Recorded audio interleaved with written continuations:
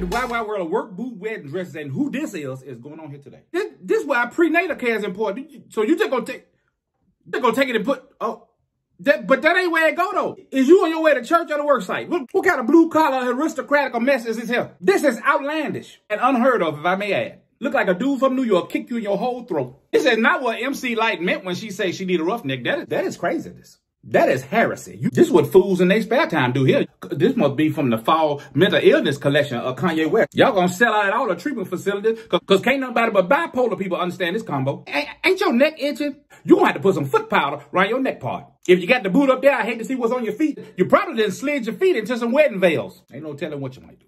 I don't even merch want to see your bridesmaids. I ain't gonna tell them what they got on. Hold on, this is 2021. You, I, I jumped the gun. You gotta be politically correct. You probably got some, like you might have some, some bride males, uh, uh, some bride men, uh, some, uh, uh, some bride buddies, uh, with some non-binary mammals that help you pull off this caper. Whoever it is, they got, you got some people down there that agree with you wearing a Timberland choker. And if you got Timberland around your neck, they probably got gladiator sandals. They don't tell you what y'all doing down there. This may be the worst in the history of worse.